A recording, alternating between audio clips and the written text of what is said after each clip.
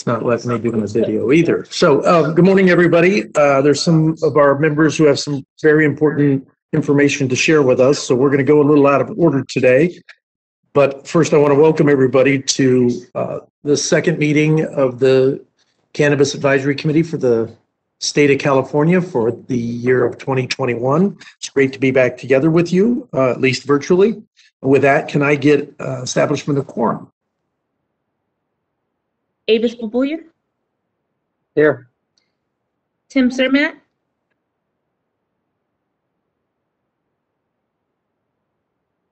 Can somebody un- Here. mute. mute? There he is. Thank you. Matt Clifford, Here. Chair Farrow, Present. Vice Chair Heidelbach, Here. Eric Harada, Here. Alice Huffman, Kristen Lynch, Here. Kristen Nevedal, Here. Levon Peck, Matt Rowan, Keith Stevenson, Here. Present. Uh, thank you, Tamar Todd, Here. Helena Williams, Here. David Woolsey, Here. Ben Wu. Beverly Yu. Thank you. Quorum is established. Fantastic. So as I said, we have a couple committee members that are crucial to the agenda items today that have other uh, overlapping commitments. And so with that, I'd like to start with agenda item four, discussion and possible action to reject, approve, modify the subcommittee's uh, recommendations on enforcement. Uh, Matt Clifford, uh, the, the floor is yours. Uh, Thank you, Mr. Chair, and I appreciate you accommodating my schedule. I've got a a really hard stop at 11 o'clock, so appreciate that. So uh, I guess I just, my job here is to report out the um, meeting of the sub, of the advisory, uh, sub, excuse me, the subcommittee on enforcement, which met last week, a week ago today. And there were three substantive items on our agenda that we took up, which were the um, enforcement disciplinary guidelines. And by way of background, um, currently, um, both CDFA and the Bureau of Cannabis Control have disciplinary guidelines that uh, classify the various offenses uh, that um, you know can be committed by licensed entities. So this is like uh, numerous provisions of the Business and Professions Code and then the associated regulations that exist underneath that underneath those. And there's a you know as one can imagine a myriad of uh, offenses that can be committed you know that are that are possible.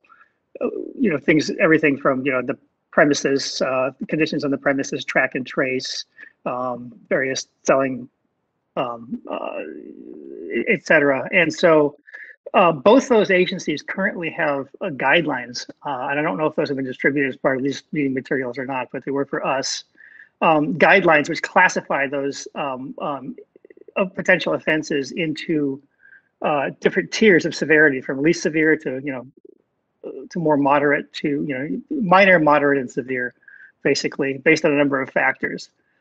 And so the question uh, on our first agenda item was um, with consolidation, um, what input did we want to provide on um, what the new agency, you know, what, what those guidelines should look like and how they should classify offenses, basically. And so for that first agenda item, we went over the guidance in detail of both agencies, uh, the written guidance, and looked at the factors that were involved.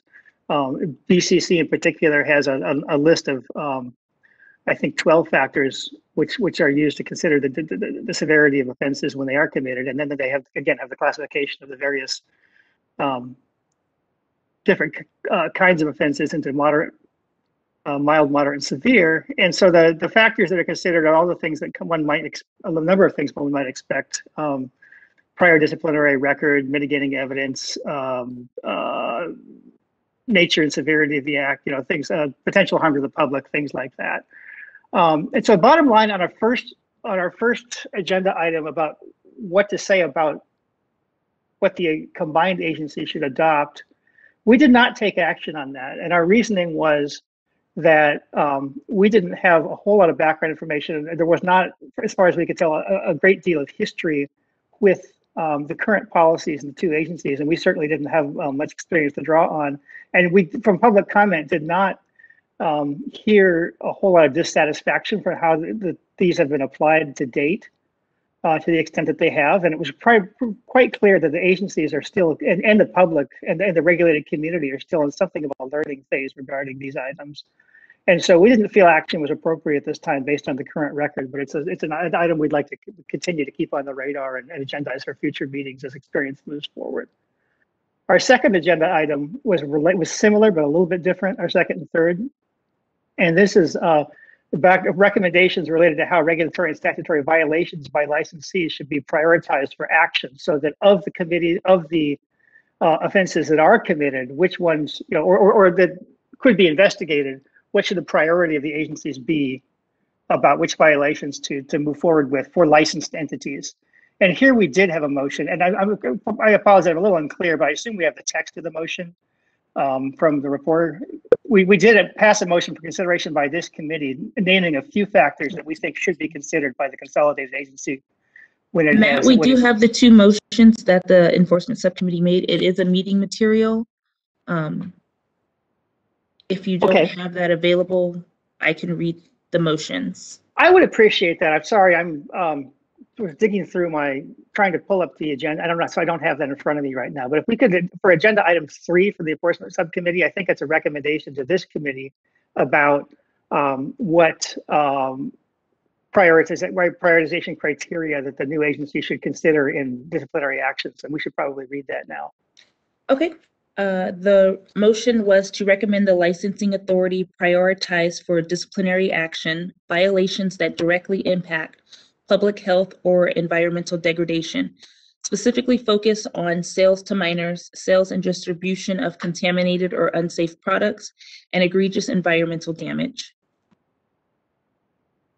So these are the factors that the committee discussed, that felt should rise to the top and be part of any disciplinary action for the combined agency. And it's uh, procedurally at this point, I, I guess I'd like to get this in front of the full committee for their consideration and possible adoption. Is is that a motion from me or how should, how should we proceed?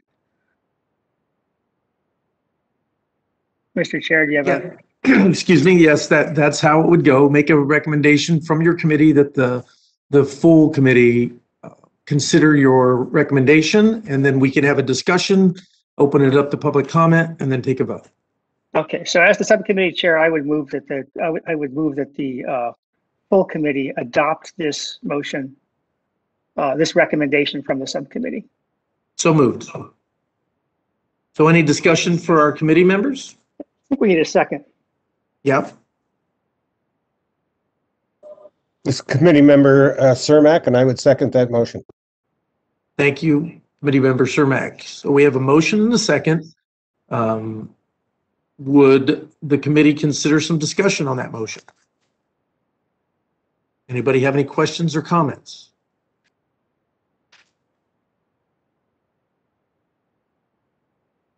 Hearing none or seeing no hands raised, uh, can we open it up for public comment? We can always go back to committee members once we've gotten some public comment. Thank you, Mr. Chair. I have opened up the Q&A panel. If any member of the public would like to comment on this agenda item, please type, I would like to make a comment using the field in the lower right-hand corner of your screen and submit it to all panelists. We are displaying instructions for your reference and we'll give you a moment.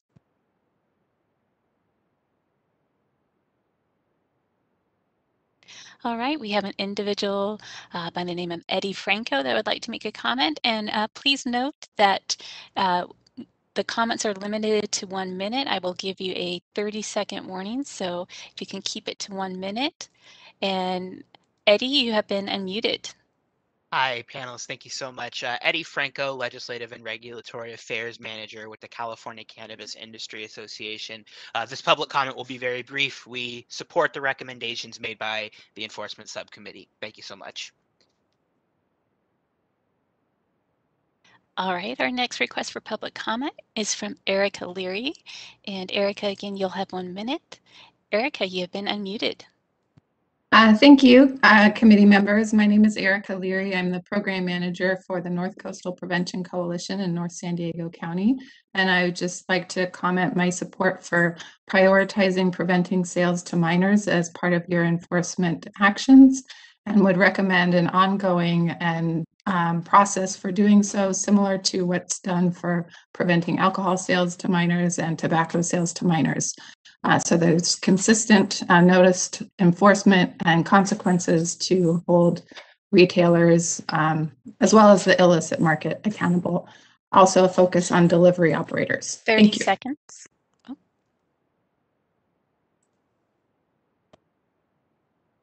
All right, our next request for public comment is from William Perno. William, I'll let you know when you've been unmuted. All right, William, you've been unmuted. Thank you. I'm William Perno, a prevention specialist with the Central Region Prevention Coalition in San Diego, focusing on alcohol and other drug prevention for youth. And I also support the uh, recommendations from the Enforcement Committee um, for these um, items and want to specifically thank them for uh, prioritizing um, enforcement for sales to minors by both licensed and unlicensed uh, businesses and vehicle deliveries. And that's something that um, we would like to see a future report from the committee on what has been done since legalization on January 1st, 2018 for uh, these type of enforcement actions for the regulated market and the unregulated. 30 unregulated seconds. from the BCC. This is very important information to note, and other states are tracking this. They are doing uh, hundreds of these types of operations uh, per year, and we'd like to see what the BCC has done since 2018, January 1st, when sales, uh, recreational sales began. Thank you. All right, our next request for public comment is from Letitia Robles. Letitia, I'll let you know when you've been unmuted. Again, you'll have one minute with a 30 second warning. All right, Letitia, you've been unmuted.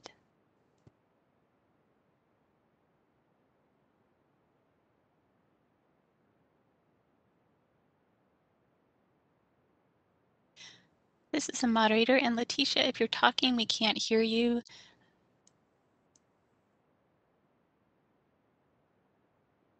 All right, I'm going to mute you and go on to the next person. We'll come back to you.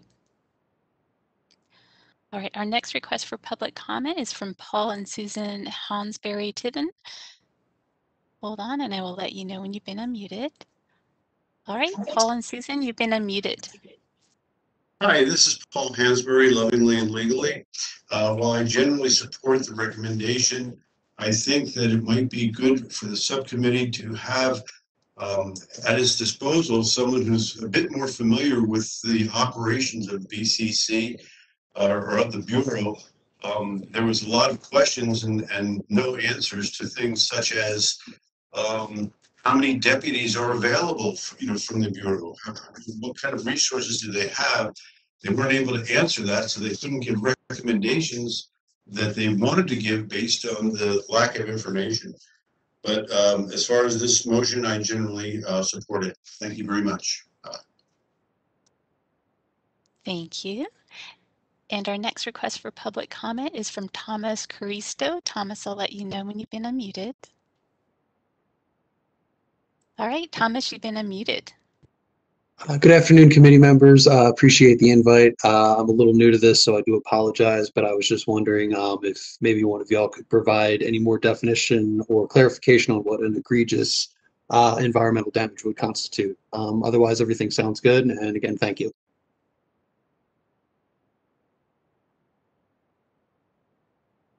All right, our next request from for public comment is from Wade Laughter. So Wade, I'll let you know when you've been unmuted.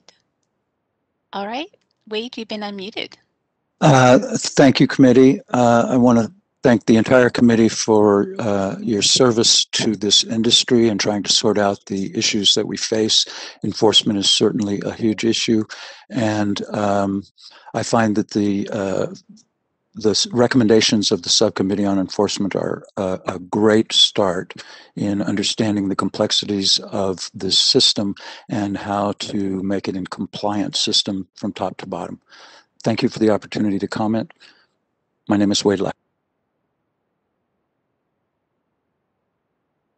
Thank you. And our next request for public comment is from Carol Green. Carol, I'll let you know when you've been unmuted. All right, Carol, you've been unmuted. Um, thank you very much. Uh, my name is Carol Green. I'm a mother of um, three young adult children and wanted to really um, emphasize your um, focus on enforcement and protecting our minors. I think this is um, very important and it is the promise that um, everyone was given when this market was uh, supposedly regulated and it hasn't happened yet. So I'm looking forward to the enforcement that you'll put in place. Hey, moderator, before we move to the next panelist, let me just make a note. Uh, the reason most of us have our cameras off is that we have a bandwidth issue because of the many, many, many people using these networks. So unless you are on and speaking, you can leave your camera off, but we've enabled it so that those speaking can turn on their, their camera. So if you'd be so kind as to stop your video for now, if you're not speaking, that way we're ensured to have a sufficient bandwidth for other, um, other people. Thanks. Kristen, your video is on. Nevedal. And this is the moderator. That is the end of our request for public comment. We have a second request for an, ag- the same agenda item, which we don't allow, so I'm ignoring that one. So we are done with public comment. Hey, Mr. Chair, Brittany, if, Rasha, your camera is on. Brittany, if it happens to be, um, Paul or Susan, That's fine. you, they share a video.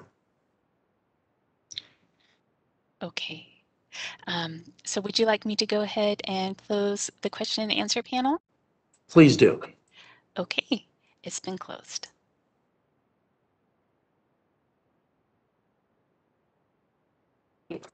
So, uh, committee members, do we have any, uh, questions or discussions? And if not, would one of you entertain making a motion to accept the recommendations of the subcommittee? Oop, I think we have that already, right? Uh, Matt, no, the recommendation was for us to hear it. Now we have to have a recommendation, do we not? I thought, I thought the recommendation was to, to adopt this. and I Oh. thought that's what we, yeah. I think I Oh, can, sorry. can say the step. No, Yeah, that would be great. Sorry about that. So, um, seeing no other comments, uh, the the clerk will call roll. Thank you. So the motion is to accept the enforcement recommendation, and the recommendation is that licensing authorities prioritize for disciplinary action violations that directly impact public health or invite environmental degradation, specifically focus on sales to minors, sales and distribution of contaminated and unsafe products, and egregious environmental damage. Avis Bulbulyan, Aye. Tim Cermak, Aye. Matt Clifford, aye, Jeff Farrow, Aye. Kristen Heidelbach, Aye. Eric Harada, Aye. um, Kristen Lynch, Aye.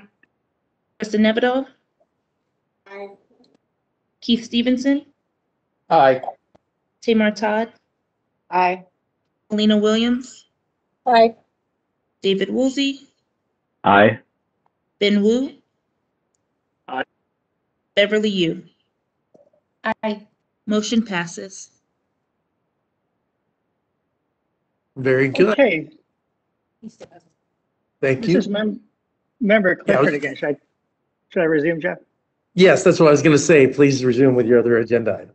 Okay, thanks. So our final agenda item, we have our second recommendation um, is a little, is, is very similar, but a little bit different. The last one dealt with uh,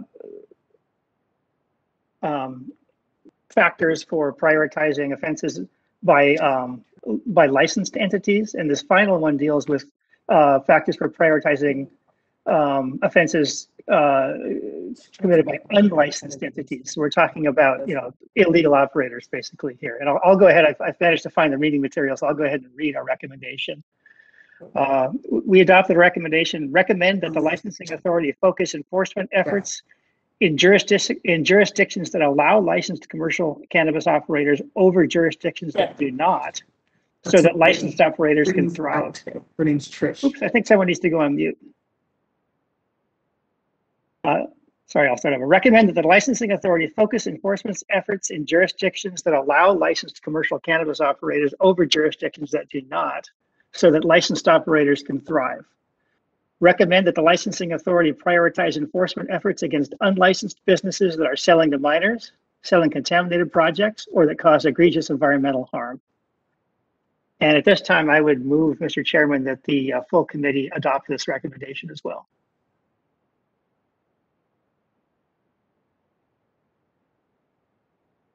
This is Committee Member Cermak. I would second that motion. Uh, having a motion and a second, can uh, we open this up to uh, discussion from the committee?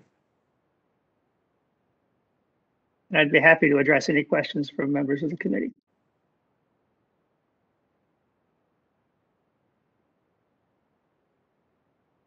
Seeing no questions. I'm sorry, this is Tim's. Yes, Dr. Cermak.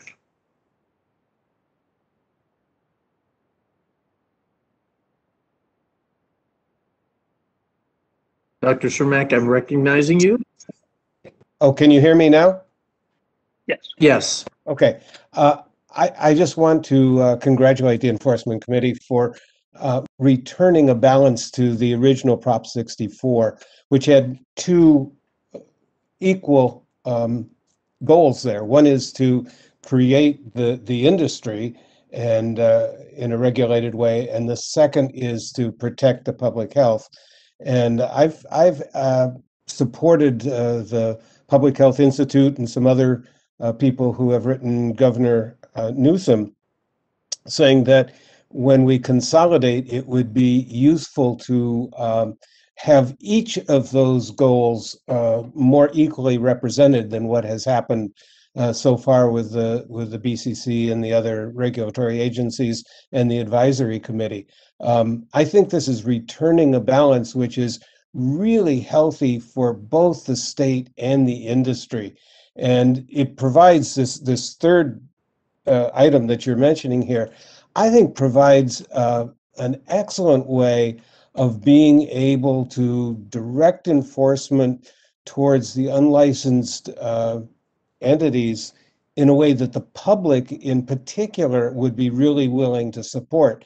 Because when it's um, under the aegis of the public health uh, um, violations, uh, I, I, think the public will be much more likely to uh, support whatever is characterized as a crackdown on the unlicensed uh, industry. So I, I thoroughly support this, and I think it's bringing some some uh, needed balance back into our efforts here. Thank you very much.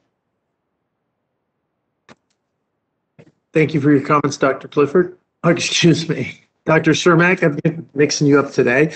Uh, any other comments from? There you go. Yeah, you know, you did this with surgical precision, brother. Uh, with that, any other committee members have comments? Seeing none, let's open the public comment. Thank you, Mr. Chair. I will go ahead and open up the Q&A panel. If any member of the public would like to make a comment, please type. I would like to make a comment using the field in the lower right-hand corner of your screen and submit it to all panelists. We are displaying instructions for your reference and we'll give you a moment.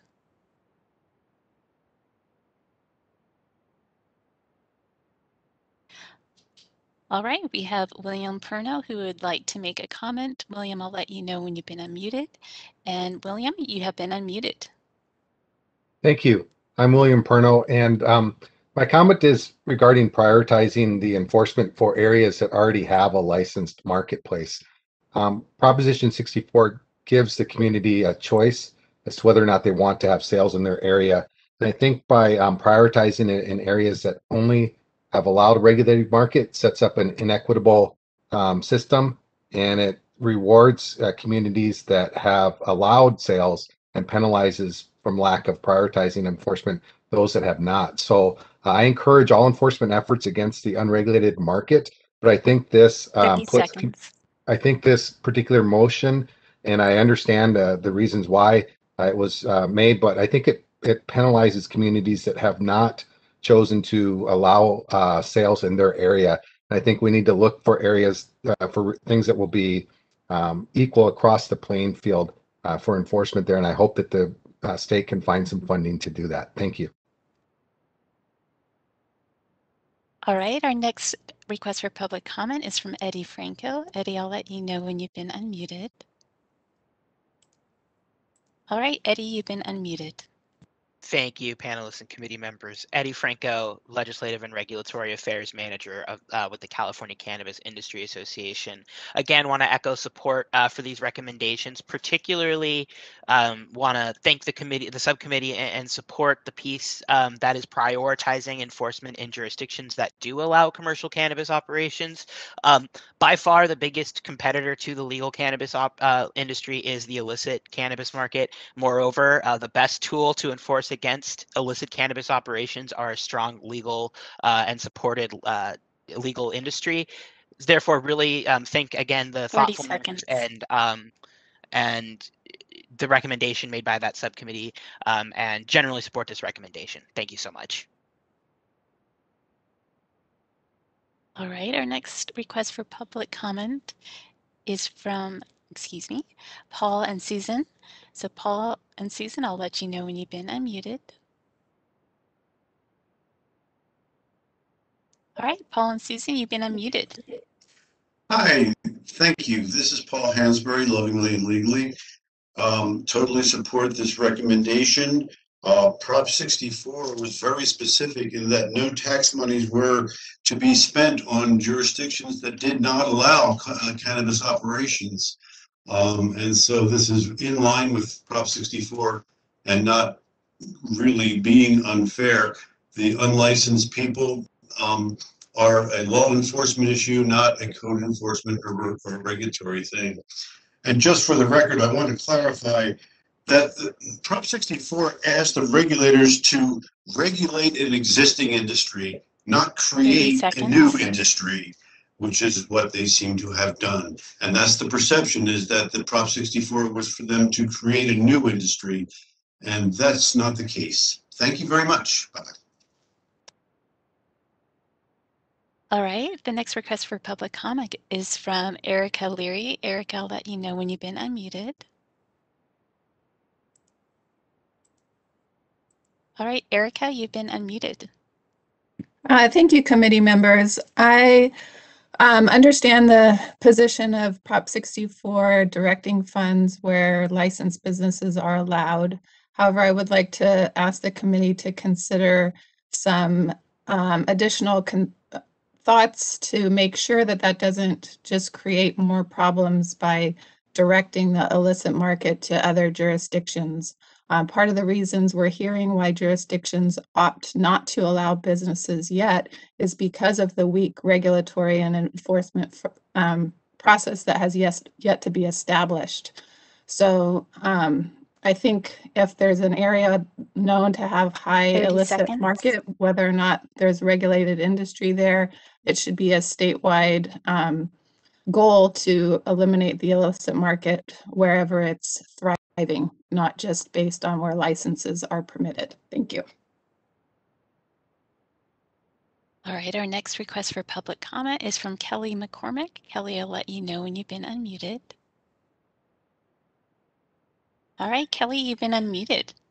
Thank you. This is Kelly McCormick, and I would just like to um, reiterate the comments made by the previous speaker. I completely agree that um, both the regulated market and the illicit market need to receive attention.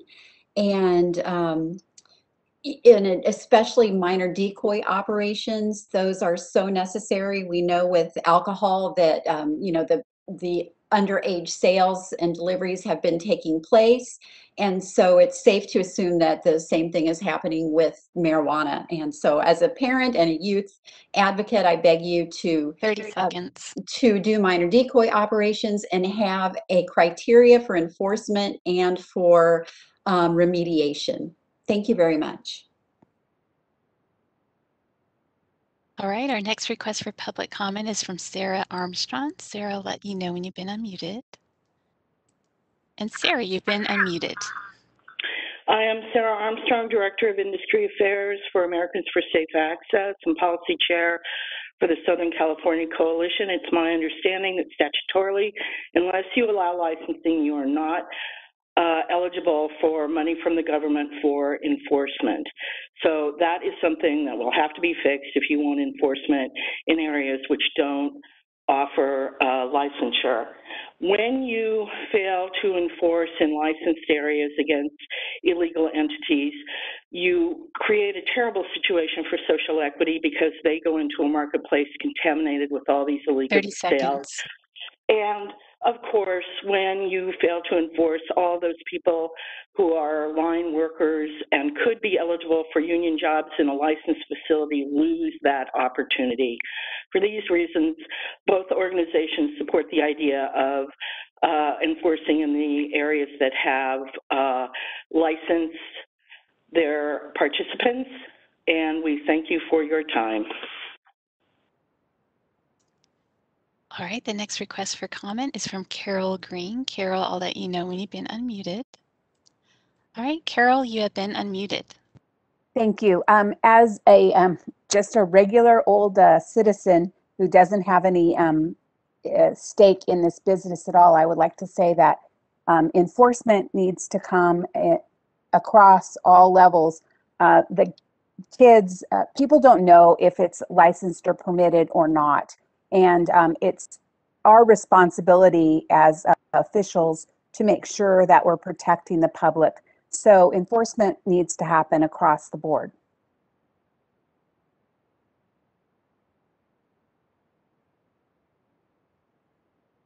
All right, and that is the end of requests for public comment. Mr. Chair, would you like me to close the Q and A panel?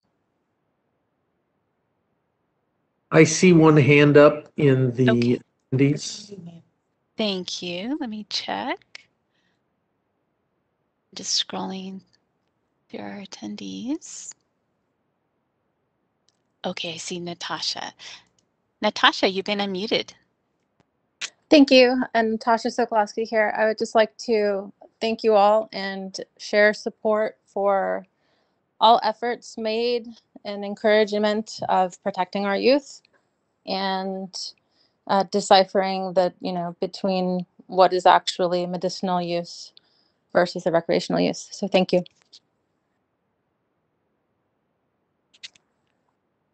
All right, this is a moderator. And just a reminder to lower your hand, you simply click on the hand icon a second time and that will lower that. Uh, at this time, I do not see further requests. Oh, I see Judith with her hand up. So uh, let me unmute Judith. Judith, you've been unmuted. Good morning. I would like to share my concept of living in a small city in a large county, and there are 18 cities in our county.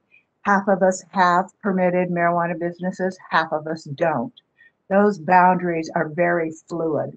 And I think since I live in a city where we do not have permitted marijuana businesses, we feel discriminated against. Speaking of inequity, that's a perfect example. I think cities, whether they're unpermitted or permitted marijuana businesses, we need to have access to the same enforcement opportunities so that we can protect all our citizens, particularly 30 including young seconds. people. Thank you.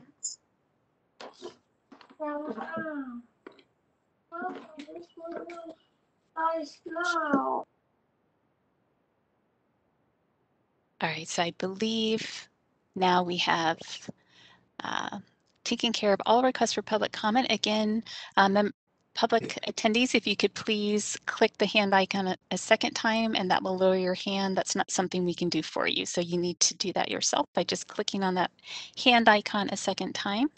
And Mr. Chair, would you like me to go ahead and close the Q&A panel? Please do. And I'd, I'd like to uh, close again that there is a process by which people can participate. It's the preferred way. So if you could just type in that panel at the bottom when it's open that you would like to ask a question, we'll put you in order so that way you aren't missed. Um, the larger the part, the group um, listening in, the harder it is for us to follow hands. So uh, with that, um, I will take uh, any comments from the committee based upon the public comment, or um, if I see none, we can take the roll. Mr. Chair, this is Member Clifford again. A quick, quick clarification, and I probably should have been more clear about this at the start. But just as far as what this recommendation applies to, and we're talking about Um, of, course, there's many law enforcement agencies out there that can enforce against illegal operators. You know, there's local police, you know, police forces, sheriffs, et cetera, local law enforcement. There's Department of Fish and Wildlife in against cultivators, et cetera, and um, other agencies as well. And what this covers is how the new bureau will will spend its relatively limited resources that it has available to, go to, to act against unlicensed operators. Since most of the attention of the agency, of course, will be on licensed operators, and we were advised at the meeting that that consists of a relatively small number of peace officers that currently are under CDFA, but will be part of the you know the new bureau. And I just wanted to clarify that because I think you know that that's just important context when we talk about it's really a relatively small but potentially important part of the enforcement piece. Just- Just wanted to mention that. That's all. Yes, thank you, Committee Member Clifford, Chair Clifford. You did a fabulous job and we appreciate you um, letting the public know that because that is very accurate. So, uh, Committee Member Bulbulyan, I, your hand is raised. Right. That's one of the things I was going to add is that if enforcement is going to be effective, it has to be focused and it has to start somewhere. That somewhere should be, it needs to be the areas where it is permitted and then expand out from there. Um, if you were to target the whole state and have it equally distributed, um, at least the prioritization of enforcement efforts, we're going to be exactly where we've been for the past three years. Thank you very much for those comments. And yes, you know, the, the licensing fees uh, go to cover enforcement against the illegal market. And um, those fees get strained if we go outside of the market that's legally operating. So um, a city wants some assistance, they should probably look at a system in which they allow licensing, and then that would afford them the resources to go after the illegal market that targets, you know, individuals maybe not of age and provides products that may not be properly tested to the to the market, endangering the consumer. So, with that, um, I'll call the roll. Our roll is being called on the motion that licensing authorities focus enforcement efforts in jurisdictions that allow licensed commercial cannabis operators over jurisdictions that do not, so that licensed operators can thrive. Recommend that the licensing authority prioritize enforcement efforts against unlicensed businesses that are selling to minors, selling contaminated products, or that cause egregious environmental harm. Uh, Avis Bulbulyan, Aye. Tim Cermak, Aye. Matt Clifford, Aye. Chair Farrow, Aye. Vice Chair Heidelbach, Aye. Eric Harada, Aye. uh, Kristen Lynch, Aye. Kristen Nevedal, Aye. Keith Stevenson, Aye. Tamar Todd, Aye. Helena Williams, Aye. David Woolsey, Aye. Ben Wu, Aye. Beverly Yu. Aye. Motion passes. And Mr. Chairman, that's all I have at this time. Well, thank you for your good work. We made it under the wire. I'd like to say that since you referenced that you'd like to keep agenda item one from your subcommittee live so we can reconsider it when more data comes in. Um, you know, permitting that the committee wishes to stay, that we will keep that committee standing until such time the issue provides us enough data that you can tackle that agenda item. So thank you again for all your work good work, um, and we'll move on.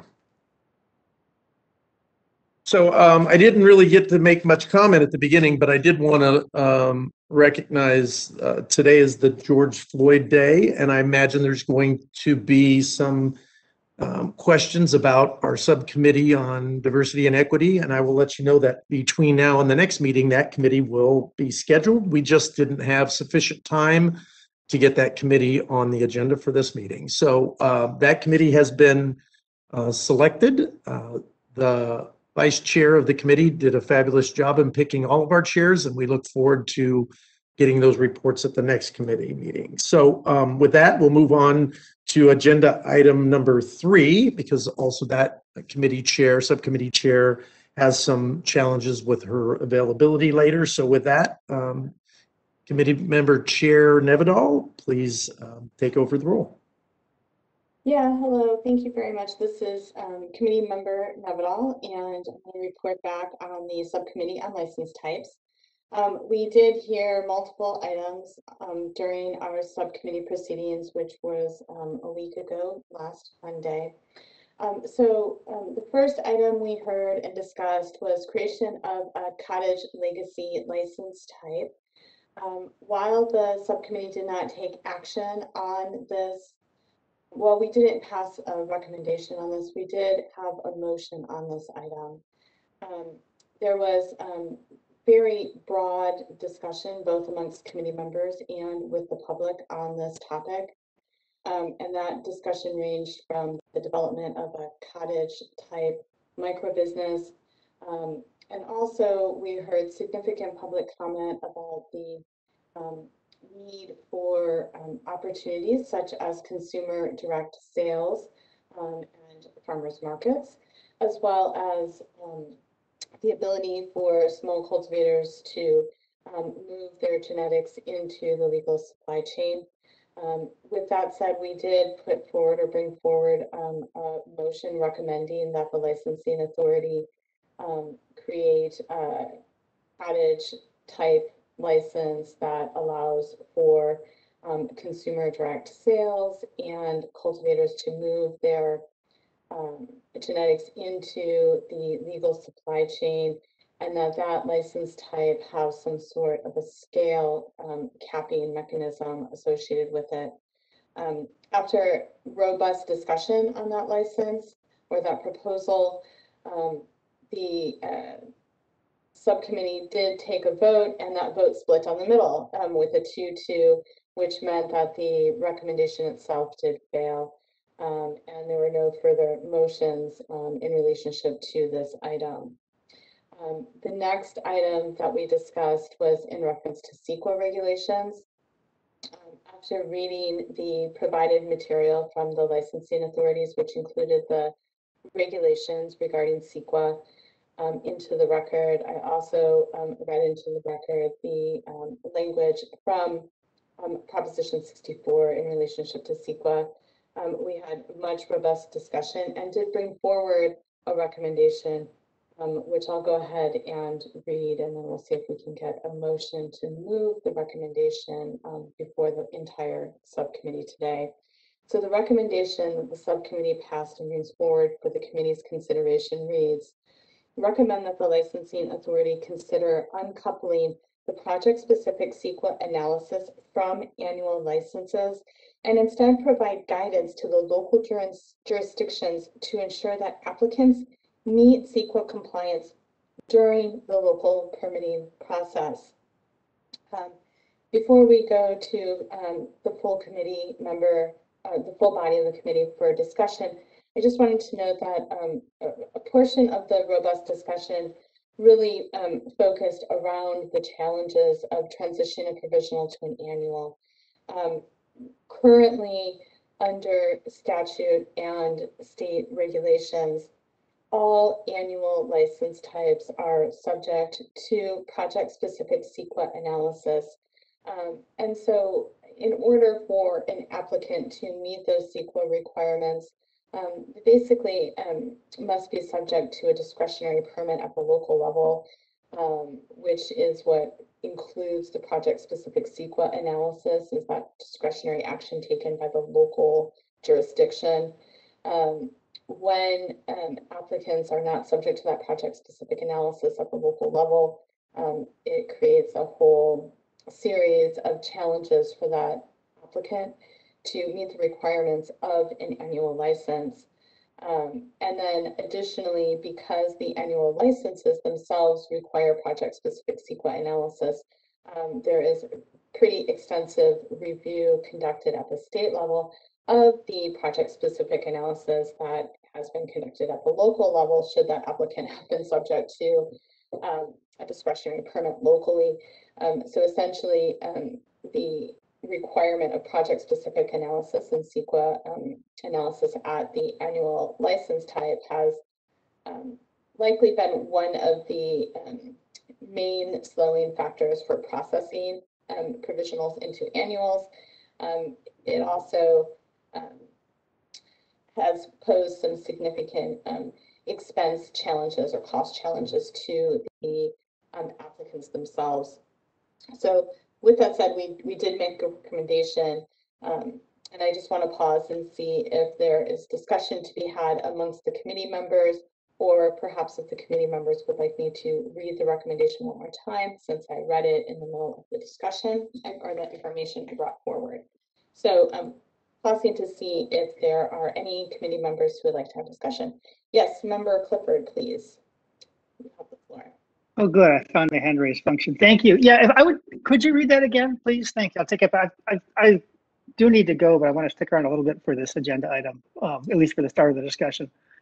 Yes, absolutely. So rereading the recommendation um, that was passed by the subcommittee, the subcommittee recommends that the licensing authority consider uncoupling the project-specific CEQA analysis from annual licenses and instead provide guidance to local jurisdictions to ensure that applicants meet CEQA compliance during the local permitting process. You, Thank you.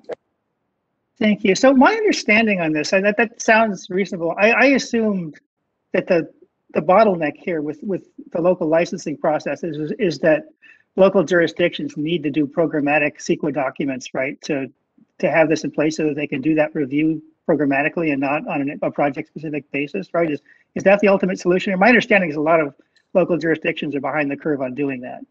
Well, currently, as the um, statute and the regulations are set up, even if a local jurisdiction conducts an initial study and provides the subsequent CEQA documentation to cover their um, ordinance that they stand up, the applicant um, themselves are still subject to project-specific CEQA analysis um, in order to qualify for an annual license. So the um, local jurisdiction's initial study and CEQA um, evaluation and documentation of their ordinance does not qualify a local or an applicant for an annual license. Only project-specific CEQA analysis will qualify um, an applicant for an annual license. There is no way for a local jurisdiction to issue a ministerial permit or anything less than a discretionary less than a discretionary permit if that applicant will qualify for an annual license. So in every case, we have to do an individual CEQA determination on, on, on every cannabis license under current, the current scheme. That is Thanks. correct, which is why we made the recommendation. That doesn't, okay, thank you. Um, and then um, any other committee members have questions um, regarding this item?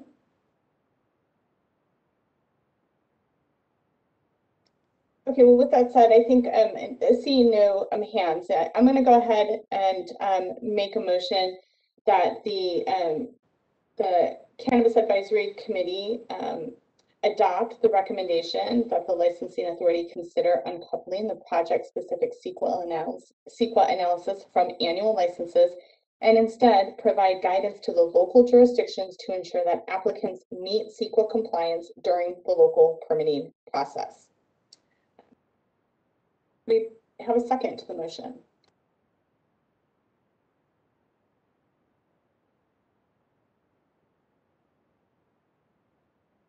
Uh, Eight, yes, I see your member- hands raised. Member Bulbulyan, please. Uh, DeSavis, I'll second.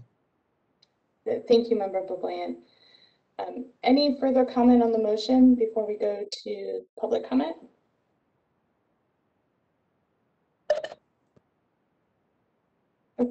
Oh, um, Member Cermak, please. I see your hand raised.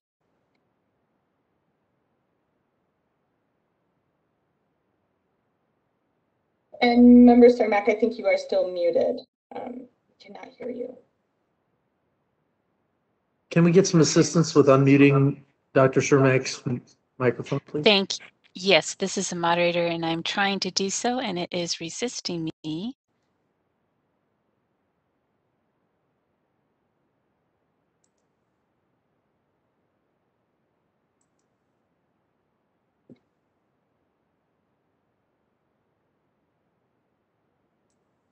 I apologize. Usually I'm able to manually unmute people, but it is not allowing me to do so.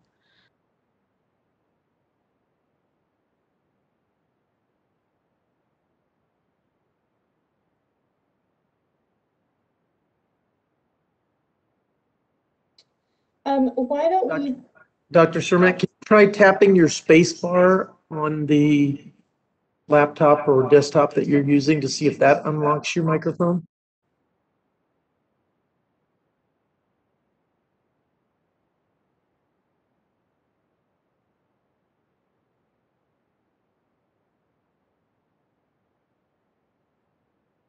So um, maybe we could get um, someone to um, check in with member Cermak and in the meantime, um, go to member Wu. Um, Hi, um, yeah, let me uh, jump in here while we're waiting for uh, Dr. Cermak.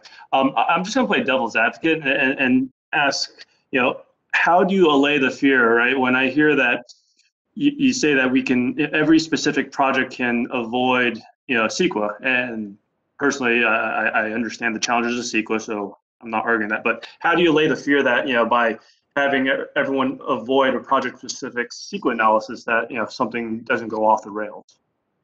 Yeah, I think that that's a great question, and I'm, I'm happy to clarify that. Um, this recommendation in itself would not allow or create an exemption that would allow every project to avoid CEQA analysis. Um, basically, what this would do would be um, provide a local control component to ensuring that CEQA regulations are indeed met. So um, barring a legislative exemption, um, there's no way for um, all cannabis operations to um, skip a CEQA analysis. So um, I think the the the see how do we say this in a way that makes sense. Um, I think the the kind of loosest version of CEQA that we could possibly see under uh, uncoupling of the project-specific um, CEQA components from the annual license would be um, allowing local jurisdictions to essentially treat widgets like widgets. So, for example, if a local jurisdiction were to treat um, retail sales as a commercial retail activity and utilize their general plan for commercial retail activities to appropriately zone, right, um, the um, commercial retail activity, then it's possible that the retail cannabis retail shop would be allowed a ministerial permit. Now, um, in standing up the rule or regulation to allow for commercial cannabis retail sales, that rule or regulation would be subject to CEQA analysis and may create additional performance standards that would have to be folded into the ordinance in order for a commercial retail sales facility to be allowed a ministerial permit within zoning already identified by the local jurisdiction's general plan for such commercial activities. Now, one more thing I think it's important to note is that all general plans are accompanied by an environmental impact report, which is what helps the local jurisdiction identify the appropriate um, areas in their political boundaries that are um, feasible for commercial retail sales and what sort of standards should go onto the retail activity, right? Do they have to have parking considerations? Do they have to have sidewalks? Do they need to be ADA compliant? What should their signs look like? So on and so forth. Um, within that parameter, that description of, you know, utilizing at the kind of most minimum standards for CEQA, a general plan component for establishing um, a zoning table or um, appropriate land use specifications for cannabis activities. Um, if the retail example that we're using decided to build their own facility on a brand new lot, right? It is highly likely that the expanded development of building a new store in a new location, that that would elevate that um, operation from an activity to a project and require CEQA analysis. Um, so I, I hope that that example um, helps um, with your question, Member Wu. Um, I'm happy to have more discussion and provide more information, as I'm sure legal um, would be willing to as well. So I'm going to pass it back to you and mute my microphone for a moment. Thank you. No, that, that answers my question. It's a complicated one, but I, I think you explained it well for me at least. Thank you. Thank you. Um, um, Member Cermak, um, just coming back to you, I see you lowered your hand, but I just wanted to see if um, you still wanted to make a comment or ask a question, and you have been unmuted. Yes, are you able to hear me now? Yes, we can hear you loud and clear. Thank you. Okay, thank, thank you. I've been on and off a couple times since I tried earlier. Um, this may have been answered, but I'm just curious as to uh, who uh, currently determines that a CEQA analysis is uh, sufficient. Um, and in this uncoupling and turning it over to the uh, the need for it to be done by the time of the local license, is anyone different? Is the is are the local authorities then the ones that are now having to determine whether or not the CEQA analysis is sufficient and um, and are they are they capable of doing that? Yeah, I think that that's a that's a great question, and I'll I'll take a crack at this. This is Member Nevedal again. So, um, currently, under any sort of discretionary permit process that occurs at the local level, um, the locals um, receive the local jurisdiction receives the complete application. That complete application is referred out to a multitude of local and state agencies for review.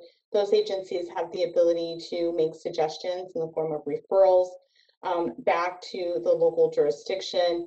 Um, and then the local jurisdiction works with the applicant to ensure that um, the recommendations are incorporated into that project, um, that project's description and um, operations plans.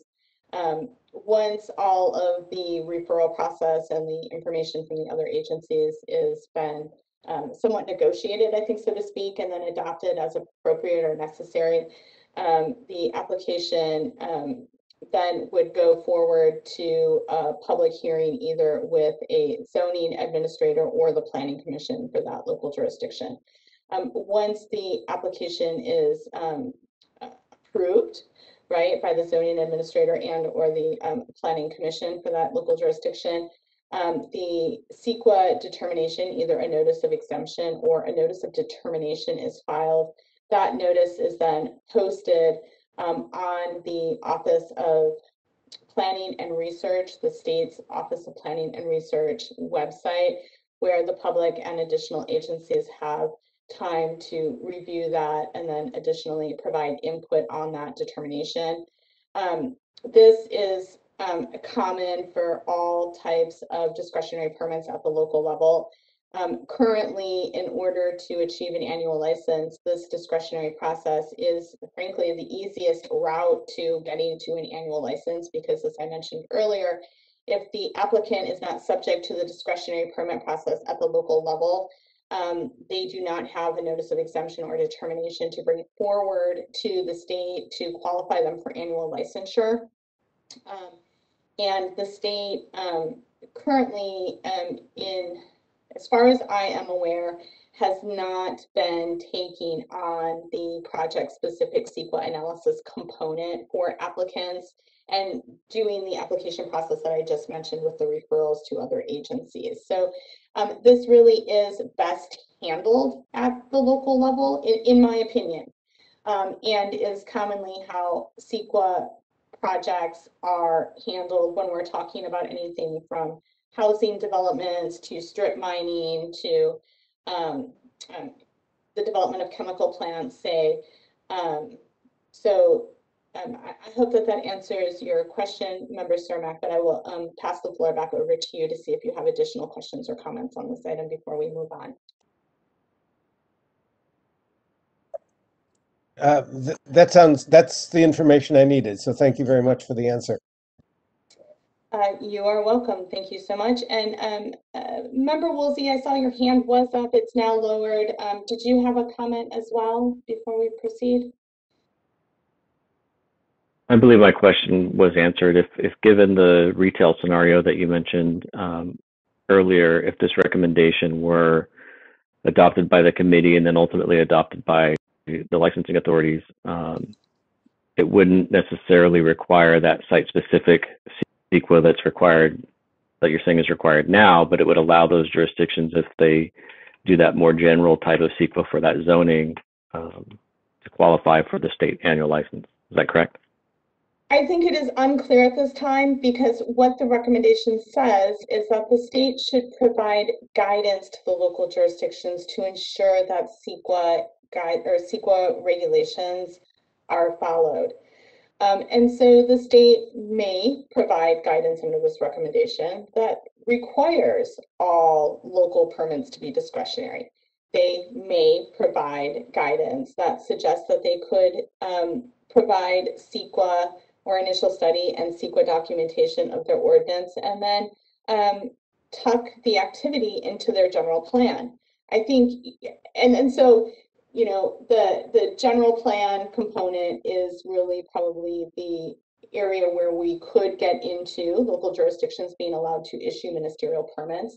But the recommendation itself is, is asking the state to um, uncouple the project-specific analysis attached to the annual license and instead provide guidance to local jurisdictions so that they can best manage CEQA compliance. Um, so, passing it back Gotcha. to Thank you.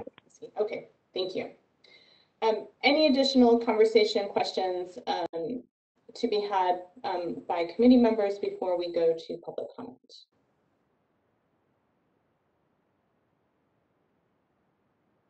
Okay, seeing no hands and seeing no microphones unmuted, um, we do have a motion on the floor and um, I would like to go to public comment if we may on that motion, please.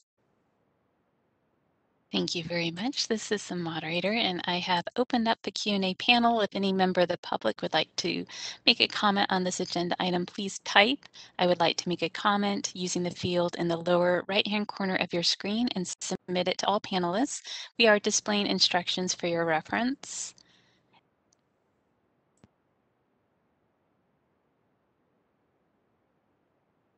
All right, we have Eddie Franco that would like to make a comment. Eddie, I'll let you know when you've been unmuted. And just a reminder, you will have a minute to speak and you'll have a 30 second warning.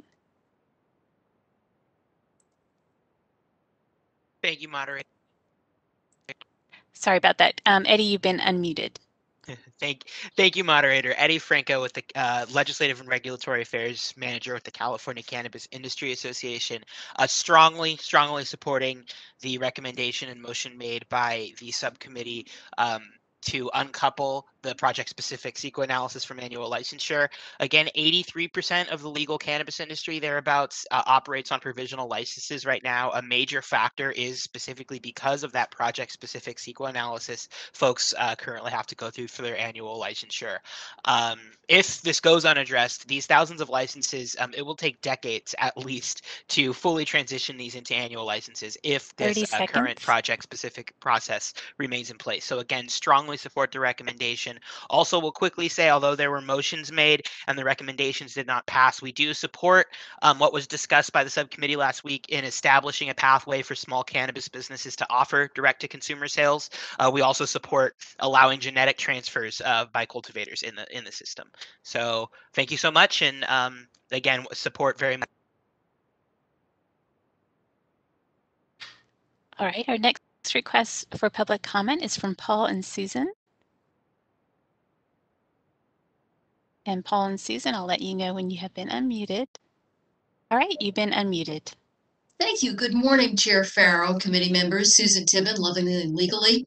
We support the motion. However, would it be possible for the CAC to work more closely and accurately with the BCC to make sure that the next CAC meeting, committee members and stakeholders could actually address a cottage legacy type license? It's, it's really disappointing and frustrating that five years after the passage of 64, we're still shutting out the legacy home farmers who built the newly legal- legalized industry. Um, it's feeling like regulatory agencies would rather just see us fade away by either attrition or interdiction rather than giving our small operators a place in the cannabis farming heritage that we built. 30 seconds. Thanks very much. And it looks like we have a comment from Paul as well. Yes, hi, this is Paul Hansberry. Uh, it's my understanding that the agenda for the subcommittee was put together by the Bureau, by the licensing authority, and not by the chair of the subcommittee, and therefore micro businesses were not uh, specifically addressed, um, which was unfortunate. But um, regarding this motion, I think that uh, I would like to add, if it were at all possible, to direct, to ask the uh, licensing authority for when they submit their guidance, that they don't just copy and paste a copy of the CEQA um, ordinance or the, of the CEQA um, um, document, um, that they give the, that they give the local uh, authority the ability, the authority to use common sense. For instance, in air quality, if I'm cultivating and I'm in a known asbestos, naturally occurring asbestos area, in order for air quality to, for it to be applicable, I have to uh, be disturbing one acre of soil or grading one mile of road. If I'm not doing that, then just NA should be uh, allowed rather than um, uh, sending it off to the air quality management company and therefore streamlining the All right, our next request for public comment is from Hannah Nelson. Hannah, I'll let you know when you have been unmuted. And you'll have a minute with a 30 second warning. Hannah, you've been unmuted. Thank you very much. My name is Hannah Nelson. I'm an advisor to the Origins Councils and one of the authors of the materials that we submitted to the CAC. Uh, we strongly support decoupling and, in fact, recommended that in our report prepared numerous months ago. But we would like to caution that uh, having local jurisdictions determine or uh, go through the full CEQA process and shoulder that burden on a site-specific basis would be quite onerous. And we encourage the committee to look at our report and the recommendations for bioregional reports and seconds. model ordinances. We very much appreciate attacking the CEQA and annual licensing issue and look forward to productive further meetings. Thank you.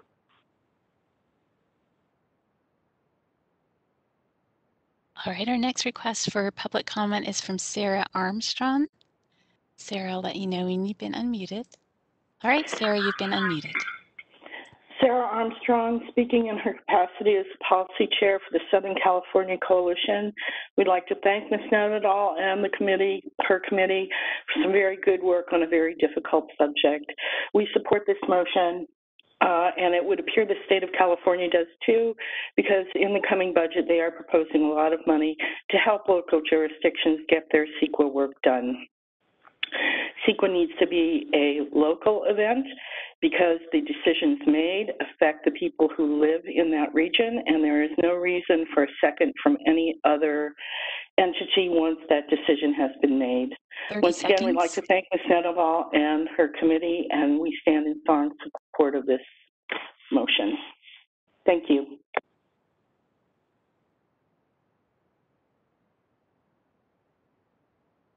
All right, our next request for public comment is from Wade Laughter. Wade, you've been unmuted. Uh, yes, uh, Wade Laughter with House of Harlequin. Uh, uh, again, want to appreciate the committee's work on this uh, very challenging subject because, from my view, uh, patient access and the heritage market have not really been addressed in the current legalization framework. And uh, I feel like this is a great first step in the direction of addressing both of those needs. Uh, thank you. I'm done. All right, our next request for comment is from Holly Carter. Holly, I'll let you know when you've been unmuted. All right, Holly, you have been unmuted. Hello, and thank you for all the due diligence on this, these important issues for license holders. Um, I want to be another voice of, of gratitude for looking at the transfer of genetics off of not only nursery licenses, but all cultivation licenses to be shared amongst themselves. Um, and to remove requirements for duplicative licensing if that is um, achieved. One step further would be to recommend language for removing the requirement for distribution in between transfers of entities that are held by the same, or between same entities on the same property. Um, that would go very far in supporting um, license holders in full operations. And thank you for all the work on the CEQA. Obviously, we need to have that addressed, and these seems reasonable. Thank you very much.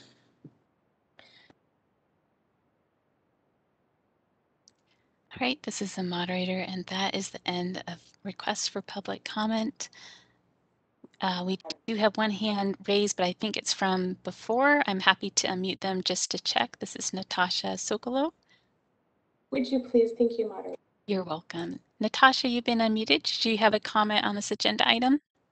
I actually, I don't know how that happened, um, but I will make a comment since I'm here. So I, um, I support the, um, the focus on the two separate, on the Prop 64 and the, the MCRSA. And so, um, CEQA moving forward definitely needs to be addressed better. And I think there's plenty of qualified people uh, um, available to help with that. So I look forward to seeing that um, move forward and come to fruition. Thanks.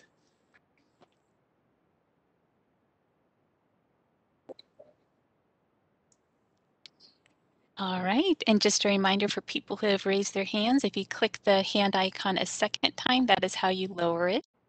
And uh, would you like me to go ahead and close the Q&A panel, Mr. Chair? Please do.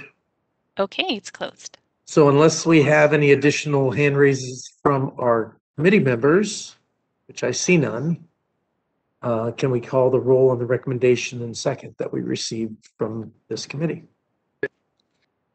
Yes, the recommendation received from the License Type Subcommittee was to recommend that the license authority consider uncoupling the project-specific CEQA analysis from annual licenses and instead provide guidance to the local jurisdictions to ensure that applicants meet CEQA compliance during the local permitting process. Uh, Avis Bulbulyan, Aye. Tim Cermak, Aye. Matt Clifford, Jeff Farrow, I will say aye. Kristen Heidelbach, Aye. Eric Harada, Aye. Kristen Lynch, Aye. Kristen Nevedal, Aye. Keith Stevenson,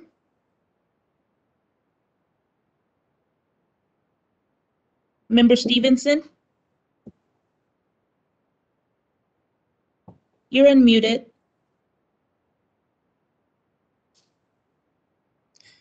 Tamar Todd, Aye. Helena Williams, Aye. David Woolsey, Aye. Ben Wu, Aye. Beverly Yu. Member Stevenson, you're still unmuted. Aye. Or- Okay, thank you. Uh, motion passes. Very good. Um, Subcommittee uh, Chair Nevedal, do you have anything else before we move on? Yeah, just, um, thank you for that, Chair Farrow. I, I would like to, um, recap the conversation a bit about number of licenses by type. Um, so, um, just a, a brief recap, there was no recommendation that was brought forward. Um, however, we did have and did receive materials from licensing authorities for this item that um, outlined the um, number of provisional licenses by type versus the number of annual licenses issued by type. Um, and that conversation really led us to have a very robust discussion um, and public comment about the provisional licensing program. Um, we anticipated being able to make a motion about the provisional licensing program. However, um, legal as we came back from public comment, initial public comment, um, and prepared a motion about the provisional licensing program, um, directed us that we needed to um, focus on number of licenses by type, such as caps and or floors. um, the committee, the subcommittee members at that time were not prepared to have a discussion about license capping. Um, nor were we prepared to have a discussion about the floors of licenses, right? So a minimum number per se. Um, and so we closed the item without really moving much more forward. But I just want to acknowledge that there was broad support from the subcommittee members to um, have a second subcommittee on license types meeting um, and that provisional licensing um, is a priority for the subcommittee members for discussion, um, especially as we are um, moving towards um, that program expiring. We have about 82% of our supply chain is operating under provisional licenses. Furthermore, um, there are zero um, laboratory testing facilities that hold annual licenses. So should the program expire on January 1st, 2022, as it is slated to do, um, it could have incredible impacts on the legal licensing supply chain as we have 82% of our supply chain in provisional licenses and zero annual testing licenses. Um, the product would not be able to get into the legal supply chain with zero testing licenses. So, um, or annual testing licenses. So I just wanted to make sure that um, that was brought forward um, before we closed the discussion on subcommittee on license types. Um, with that, I have no further comments. Thank you. Thank you, Subcommittee Chair Nevedal. Um, and I'd just like to say, you know, one of the, the public members mentioned, or public participants in the discussion mentioned the additional funding for CEQA. You know, and I think that's a really important part because I, I do believe that, you know, whether they're a small city, CEQA was a challenging piece of legislation to maneuver through, and hopefully the new consolidated agency will have the ability to provide some type of assistance to those so that way we can expedite and ensure that they are able to do the work necessary to approve these licenses. So with that, um, I'm going to make a recommendation that we pause here for about 15 minutes to take a break because uh, we're moving through the agenda pretty well and we resume in 15 minutes from now. So uh, moderator, can you please put up the recess time? And it looks like we'll be at uh, 50, 1150 we'll resume. And with that, thank you very much. We'll see you in fif- at 1150. Hello, this is uh, Chair Farrow. It's 1150. Can we verify that our court reporter has returned before opening the meeting?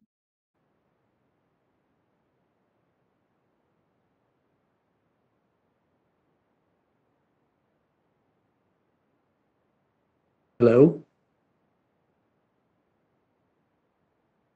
Hearing nothing. Does anybody say anything? This is the moderator. I see we have court reporter Irene Nakamura on. Uh, let me go ahead and manually unmute her. All right. Right. Uh, Irene, you've been manually unmuted. Hi, yes, I'm here. Court reporter. Very Ready good. Thank, roll. Thank you. thank, thank you very much. So uh, can we call the meeting back to order? We might need to get a show of hands rather than do a roll. If we can get a show of hands who has returned so we can make sure we have quorum. Thank Yu, Committee Member Nevedal, Woolsey, Bulbulyan, Stevenson, Lynch, you, Wu, Williams, Harada, thank you. We have a quorum. Uh, could we uh, unmute Dr. Cermak's uh, mic and? I'm here. Oh, great. Thank you, Dr. Cermak. Okay, well, we have a quorum. Um, so why don't we resume? Be- I did thank uh, the subcommittee on licensing for their work, but I do, like enforcement, there was work that could continue to be done. So if all committee members, subcommittee members are interested in maintaining their position on that subcommittee, I would like to have that committee stay um, composed the way it is for now. Any objections to that? Oh, I see committee member Todd. your hand is raised, or are you doing that to notify me that you're here? Oh, thank you. Thanks, Committee Member Todd. Committee Member Wu? Very good. Okay, so seeing none, uh, we're going to keep that committee as a standing committee until the next time we have some information that will allow them to take work action on the number of, or the license types. And With that, I would, I would also close that by saying, I, I remind everybody, um, you know, when we first met in November of 2017, we were faced with a emergency reg package by a bunch of people who did a very good job trying to anticipate what they were going to face. And over the last several years, we've made recommendations and there's been modifications made by the agency.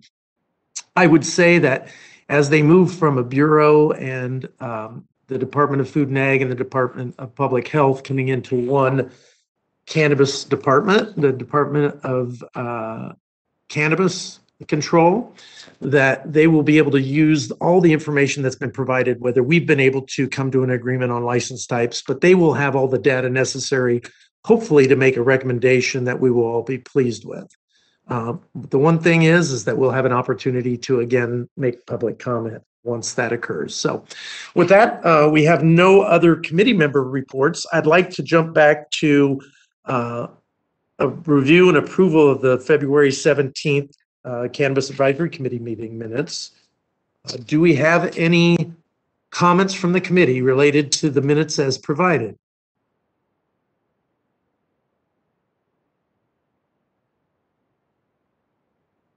Uh, Committee Member Nevedal. Um, I'll go ahead and make a motion to um, approve the um, committee meeting minutes from February 17, 2021. Do we have a second? I will second that. Member Heidelbach. Thank you, Vice Chair Heidelbach. Um, Any other comments before we open it up to public comment? Seeing none, um, moderator, could you please open up the roll for public comment? Thank you, Mr. Chair. I have opened up the question and answer panel. So if any member of the public would like to comment on this agenda item, please type. I would like to make a comment using the field in the lower right-hand corner of your screen and submit it to all panelists. We are displaying instructions for your reference.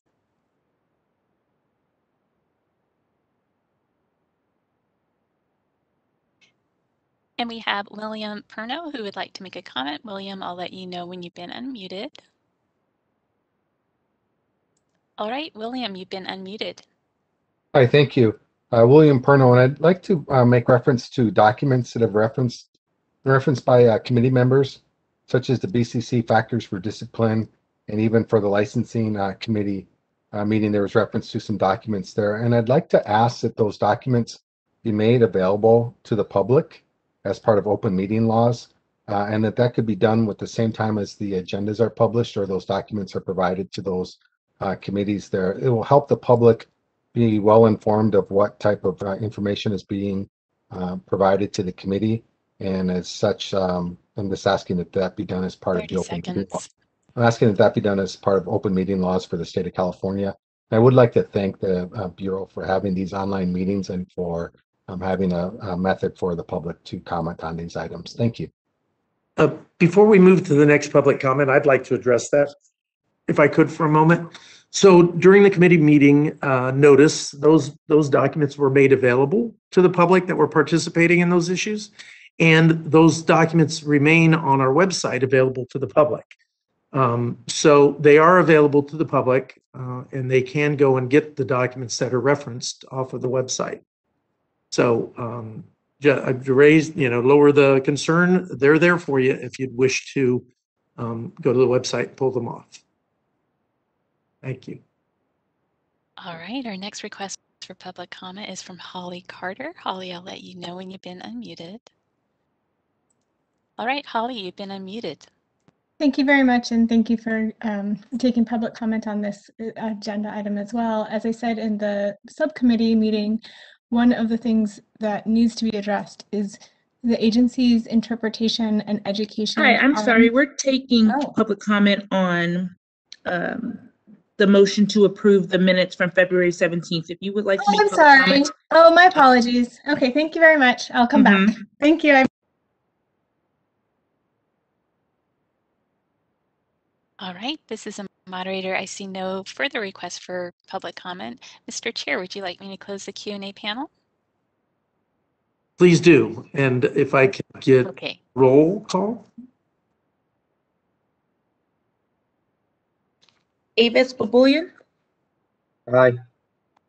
Tim Cermak, Aye. Matt Clifford, Chair Farrow, Aye. Vice Chair Heidelbach, Aye. Eric Harada, Aye. Kristen Lynch, Aye. Kristen Nevedal, Aye. Keith Stevenson,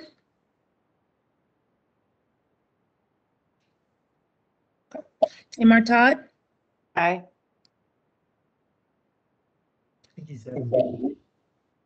Yeah. Helena Williams, Aye. David Woolsey,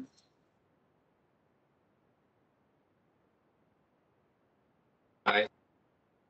Ben Wu,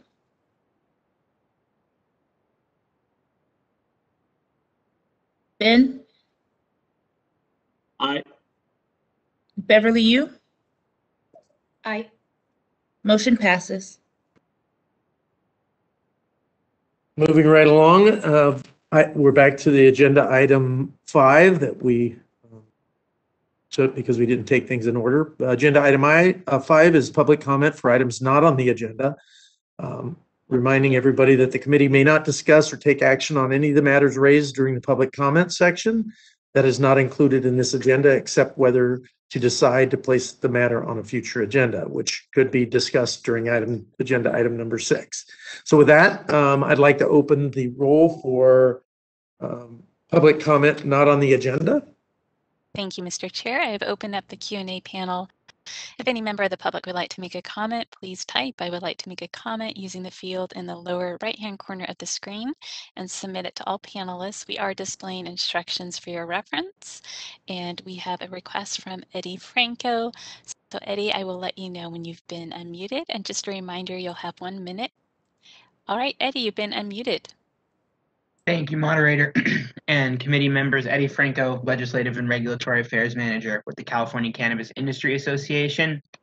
Uh, mainly want to say that CCIA recommends that licensing authorities develop an immediate pathway uh, for cannabis retail businesses to permanently implement drive-in, drive-through, or curbside pickup sales operations. Um, since the onset of the pandemic, a lot of operators have implemented these sorts of operations for contactless sales to consumers.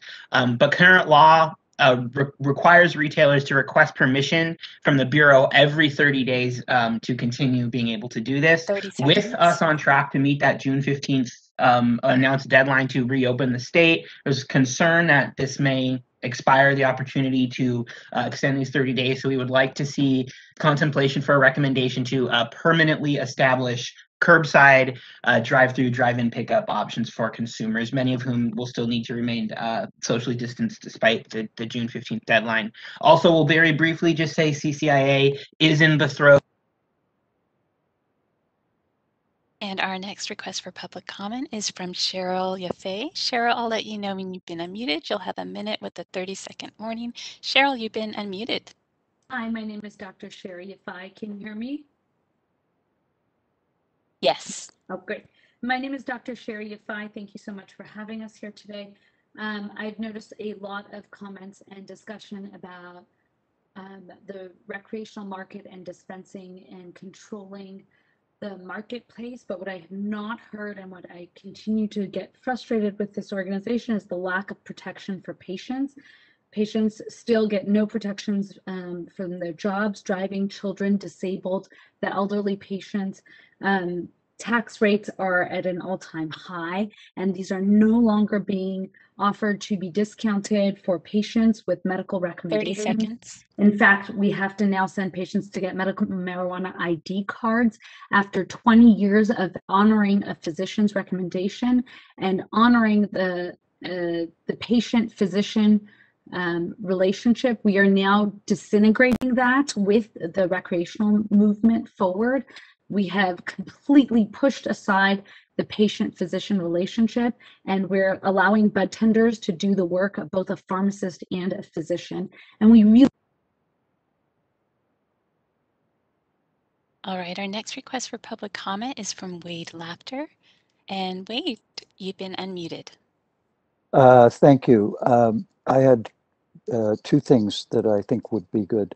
Uh, i- As part of consolidation, I would ask that the committee uh, discuss how to make the system simpler, make it easier. I think it was Member Bulbulyan who referenced in the subcommittee meeting on licensing, the last thing we need is more license types. Let's make things more simple.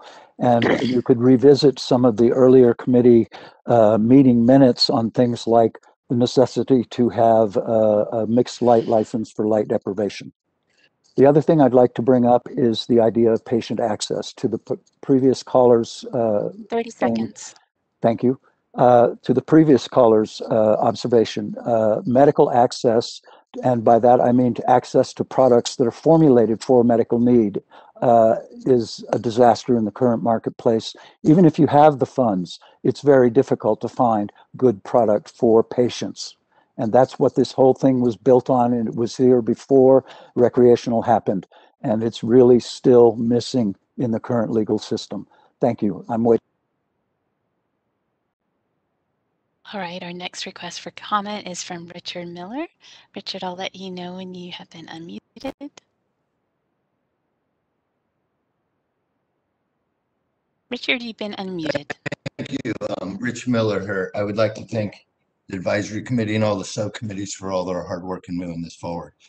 And in light of the three entities merging together, I haven't brought this up in the past, but we are still missing and having a shortfall with patient access, compassion, and as well as having a voice on this board since we no longer have a patient advocate being heard from this committee.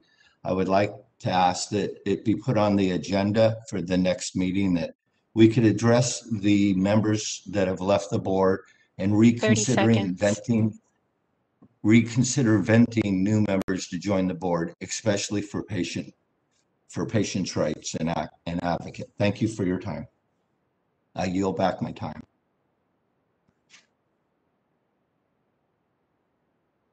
All right, our next request for public comment is from Katie Maple. Katie, I'll let you know when you've been unmuted. All right, Katie, you've been unmuted. Uh, good afternoon, Katie Maple, uh, Vice President of Government Affairs and Compliance for Perfect Union. Uh, we're a vertically integrated company with uh, 12 re- retail locations throughout the state now.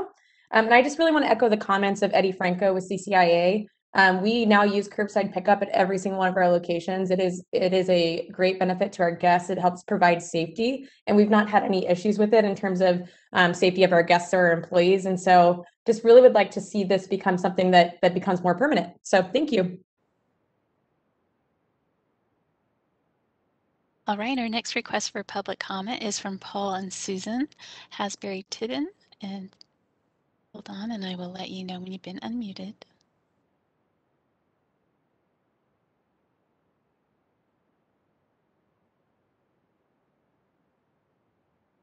Right, Paul and Susan, you've been unmuted. Hi, this is Paul, Livingly and Legally, and thanks once again for all your hard work. I'd like to suggest that um, as the subcommittees move further, that the chairs of the subcommittees be allowed to um, produce their own agendas rather than have one produced for them by the licensing authority. I know that they want advice on certain things, but the, the advisory committee's purpose, I thought, was to maybe inform the licensing authority and, and use the, um, from their vast experience from the committee and from the public comment. And those things may not occur to the licensing agency as they develop their agendas. 30 seconds. So if you could uh, please allow the chairs to develop their own agendas, that would be, I think, uh, very helpful. Thank you. That's all I got. All right, our next request for public comment is from Holly Carter. Holly, I'll let you know when you've been unmuted. And Holly, you've been unmuted. Thank you very much. And I'll start where I um, accidentally interjected earlier by saying that I'm hoping that all agencies, as they are consolidated, have a high um, a degree of training and education amongst each other, amongst the different departments, and with industry. We are still finding that the businesses have a lack of information. A lot of um, underground regulations are applied, and expectations are put on businesses without any ability for pre-planning or meeting compliance expectations um, when there's things that are still unclear even amongst different staff in one department in one agency. 30 seconds. Um, I'll also echo the um, the wonderful comments that are made by other people and uh, add my voice of support to those as well. But that's my main concern at this time. So thank you for that. All right, our next request for comment is from Judy uh, Strain, or Judith Strain. Judith, you've been unmuted. Good afternoon. I, Judy Strang here, I work with a parent advocacy group who has, over the last five years, been increasingly concerned about concentrates that find themselves either in candies or snack foods or drinks, and of course in vape pens. And we are concerned that we have noticed the increasing concentration that are available. And with that, growing interest by the youth market.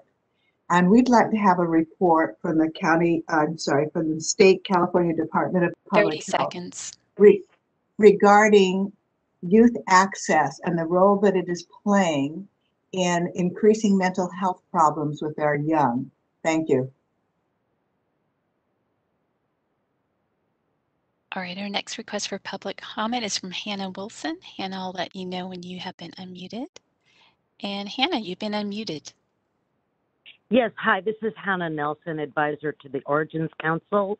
Thank you for the comments. Uh, I, I want to say that a lot of the difficulties of the intersection between CEQA and cannabis licensing stems from the fact that cannabis is determined to be a project for purposes of CEQA instead of as defined as an agricultural crop, which would then follow traditional land use models. So that is something to consider and to bear in mind as recommendations come forward. Additionally, I'd like to specifically ask that the com- committee 30 um, seconds. recommend with respect to consolidation that expert stakeholder and agency working group be appointed similar to the successful California Appellations Program working group that was employed.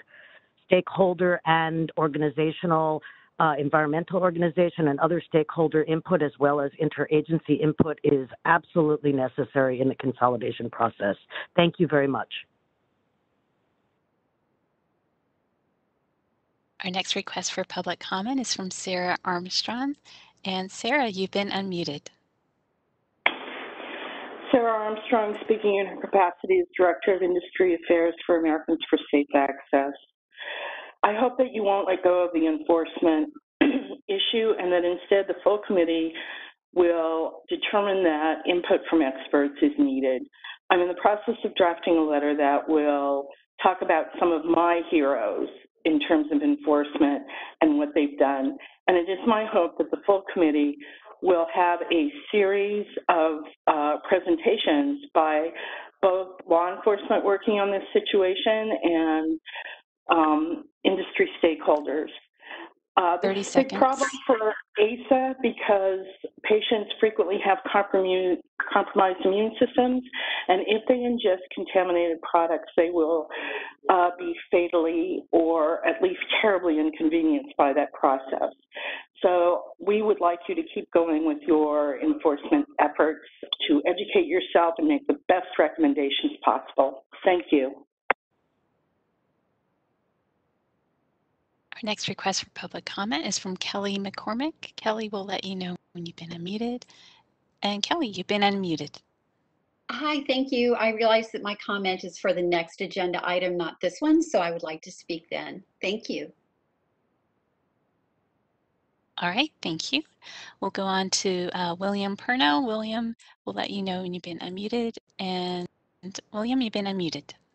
Thank you, William Perno. And I'd just like to make a note for the uh, committee to look into Delta 8 THC uh, coming from um, hemp and CBD products there, and that is outside of the regulated market. And those products, while I know they fall under the jurisdiction of the California Department of Public Health, we are seeing people um, advertising for sale in unlicensed places or just regular businesses products for smoking, vaping, and ingestion, and all those are prohibited by California Department of Public Health.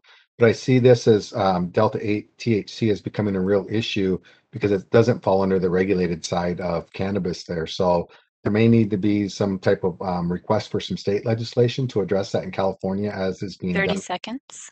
As is being done in other states. And then there's another product, Delta 10 THC, coming from the cannabis plant. Um, but again, it's just one of those areas where uh, those sales for Delta 8 THC products are picking up significantly. And I fear that there could be another unregulated marketplace there uh, being sold for consumption uh, where it shouldn't be under California Department of Public Health. Thank you. All right, and we do have a request from Kelly McCormick. I thought she wanted to comment on a different agenda item, but a second request has been submitted, so I'm just checking back with her. And uh, Kelly, you've been unmuted. Oh, hi, thank you. I was actually, I had said that I was going to speak up the next item in the Q and A, but I will, uh, I heard the comment of the previous gentleman and I definitely support more regulations around the Delta 8 um, because we are seeing that more and more and it's eh, completely unregulated. And so I definitely would like to see more attention paid to that. Thank you.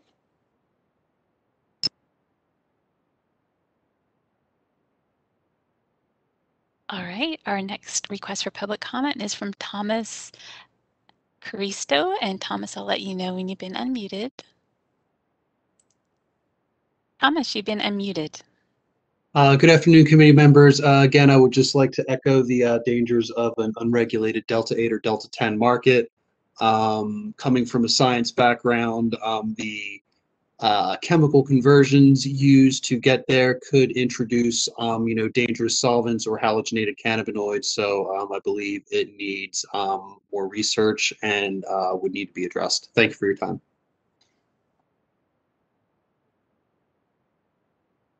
All right, this is the moderator and I see no further requests in the Q&A for comment and I'm looking, I don't see any raised hands. So uh, Mr. Chair, would you like me to close the Q&A panel? Please do. And while we're contemplating moving on to the next item, just know that the Farm Act didn't approve Delta 8 in any way, shape, or form from hemp-derived products. And if uh, there is no regulation permitting it in the state, then it is illegal and a non-permitted product. So we don't have to talk about more regulations. There are none right now for them. And so any sales of those are not permitted under the state of California or any other state unless they've passed regulations permitting it. So with that, I'll move on to agenda item number six for items uh, to discuss on future agenda items and possible. Excuse me. I'm getting, and then creating next agenda um, meeting minutes or, or uh, agenda for the next meeting. With that, uh, committee members, do you have any suggestions for us for the next agenda or items that we should focus in the next agenda?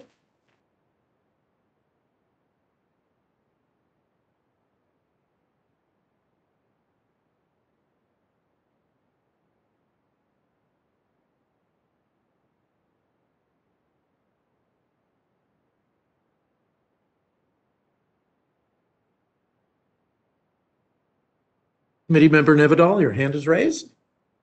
Yeah, hello, this is committee member Nevedal. Um, I'm just kind of, I'm mostly curious about um, when we can expect our next meeting to be. Um, and really, um, my question um, is, you know, in looking at that timing, will we be likely um, after the state budget passes, before the state budget passes, and just trying to kind of figure out how we um, might coincide with the timing of consolidation. Well, I do, I, this isn't a question and answer period, but I do believe that if we follow our normal meeting uh, periods, eh, even though we wanted to start early, we will be in the early part of the third quarter, which should, unless barring any uh, hiccups with the consolidation of the agencies, there will be a consolidated agency.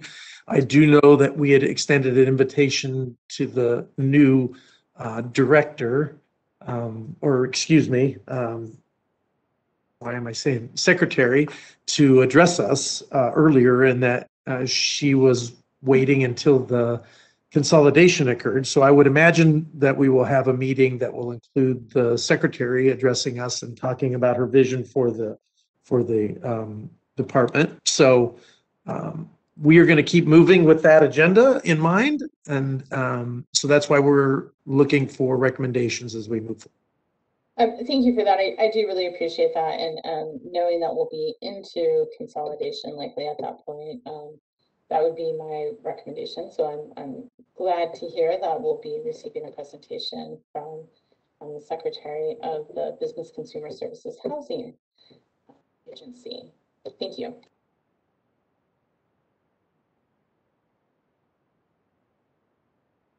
This is committee member Cermak. Are you able to hear me? Yes, committee member Cermak, recognized.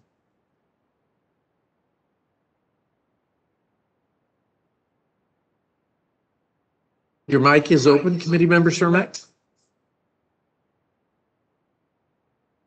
I'm sorry. I need confirmation that it's open. It's open. Uh, We hear you loud and clear. Oh, okay. Thank you very much. Um, two things. Uh, One is, um, I really think that we need to um, respect the the patience and the endurance of uh, those people who have been talking about uh, legacy issues and who are wanting to move into whether or not it's a new type of license or whatever. Uh, I have serious concerns personally about what that would mean, but I think uh, we as a uh, as a uh, advisory committee really need to find a way of grappling with that as quickly as possible so that they can know what the future is going to hold in terms of what our recommendations are. Um, the second thing is um, I, th- I, I think there's a need for a uh, a public health uh, committee to uh, subcommittee to be convened uh, relatively soon so that we can uh, a look at uh, how the public health issues are going to be uh, dealt with within the consolidated um, regulatory structure. You know, who's going to be doing that? Uh, we need to get clarity on that. Uh, we need, um, we've been waiting for a report from uh, the Department of Public Health regarding any progress they're making pursuing um, working with the uh, University of California around uh, a review of the literature about high potency uh, THC products, what the risk and benefits of those could be. Um, it, it will be in a situation where uh, once there's a consolidation, then I'm not sure that the Department of Public Health is going to be involved anymore in, in, or in what way they will regarding that. Um, so uh, we need some update in terms of the progress of that. But more than anything, I think that the uh, subcommittee needs to have as its agenda item the creation of its agenda. What we believe are the issues for public health that need to be studied, that need to be um, looked at in terms of improvement of regulations. And the committee itself needs to sit down with the public uh, as participation and look at what are the range of issues that now face us um, for regarding uh, youth and public health issues. Thank you. Thank you, Dr. Cermak, for your comments. Uh, Any other committee members with comment? Suggestions? Uh, Well, let's open it up to public comment on agenda items for future meetings. Thank you, Mr. Chair. This is the moderator, and I have opened up the Q&A panel. If any member of the public would like to talk on this or make a comment on this agenda item, please type. I would like to make a comment using the field in the lower right-hand corner of your screen. We are displaying instructions for your reference.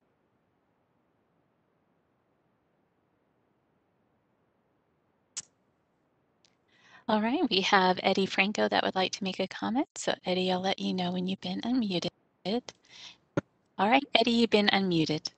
Thank you so much, moderator. Eddie Franco, uh, Legislative and Regulatory Affairs Manager with CCIA. Um, just a few suggested agenda items for future meetings. First and foremost, would definitely like to see an agenda item on provisional licensure and a pathway forward, a specific a discussion to that on the next meeting.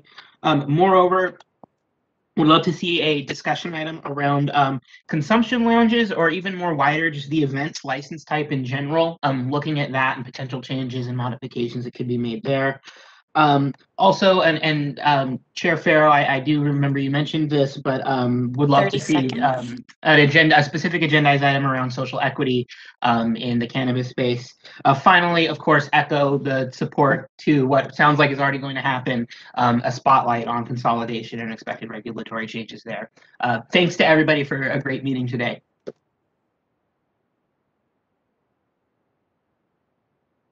All right, our next request for public comment is from William Perno. And William, I'll let you know when you've been unmuted.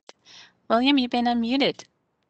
Thank you, William Purnell speaking, and I'd like to um, echo and support committee member member Cermak's um, request for um, a public health uh, subcommittee and also for the committee chairs to be able to set their own agendas with input from the bureau or the consolidated agency, but they really should be able to set their own agenda there with input. I'd also like to ask that there be a future agenda item to address uh, youth access to marijuana the importance of this is noted in Prop 64 and the Cole memo, but we know nothing about any uh, minor decoy operations that, that have been done by the Bureau since uh, 30 seconds. recreational sales began on January 1st, uh, 2018.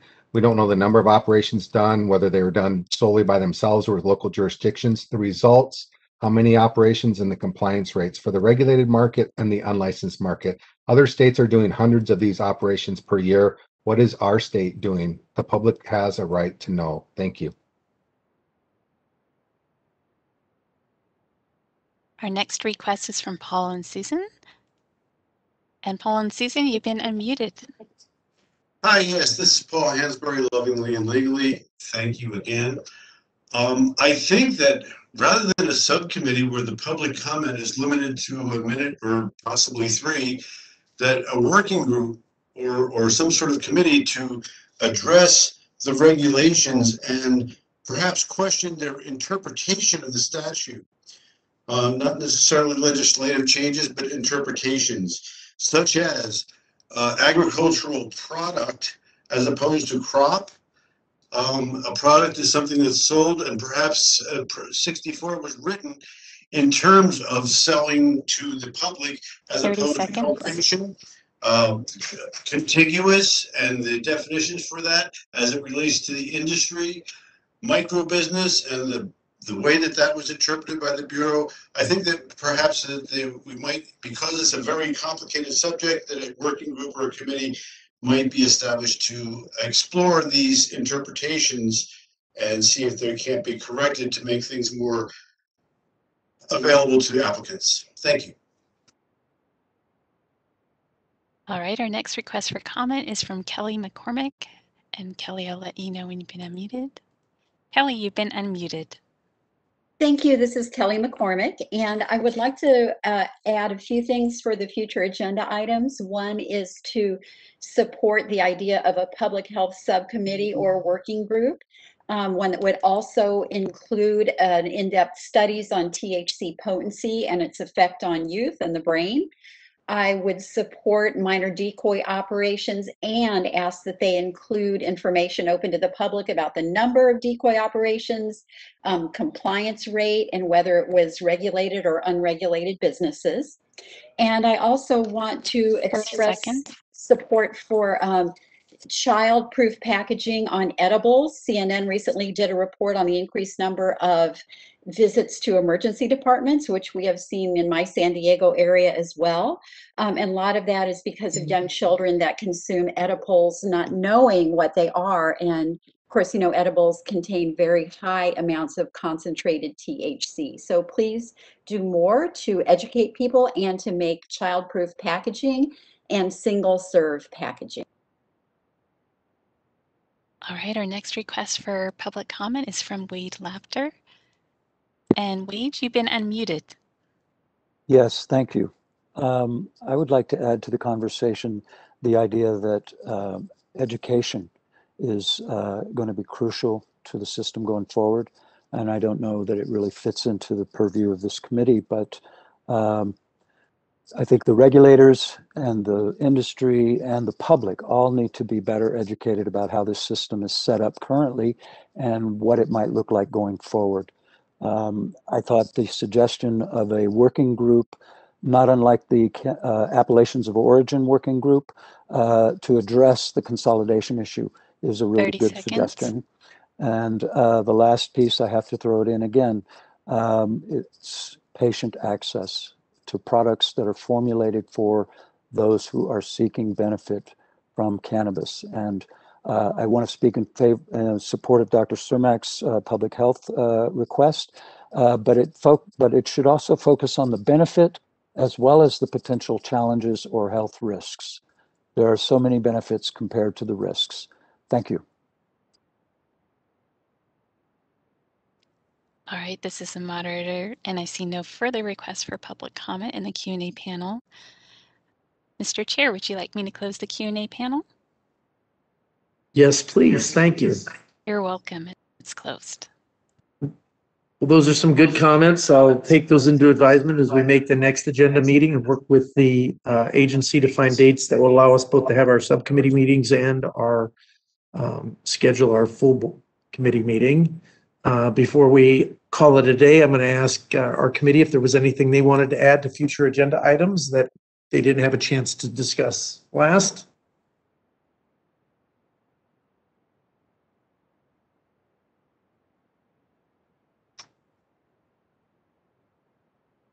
Committee member Bulbulyan? Thank you, Chair. Um, yes, I'd like to echo the request for a discussion on the provisional licenses as well as the delivery license.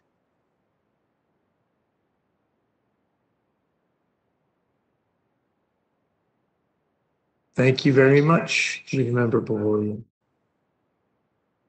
Seeing no other hands raised at this time, uh, thank you, everybody, for your participation today. Uh, It was very robust. Uh, We had some great subcommittee work that was done, and I'm happy that uh, the recommendations that were made were all passed.